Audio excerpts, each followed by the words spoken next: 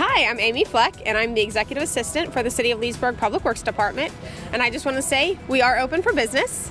Um, although the streetscape project is taking place, we have construction from 9th to 14th. If you want to go shopping or dining, or you just want to walk around downtown Main Street, we do have Herndon and Magnolia open for traffic.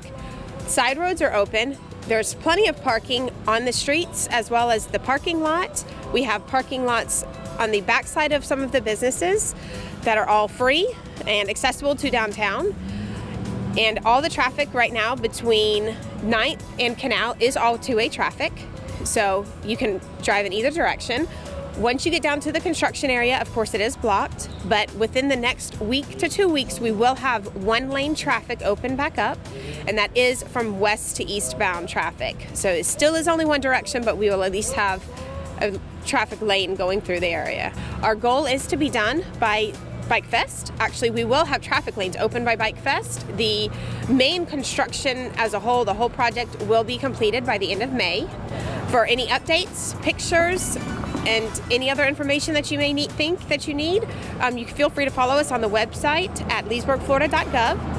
Uh, we do have a link on the main page for Main Street construction. You can also follow us on our Facebook page at City of Leesburg Public Works.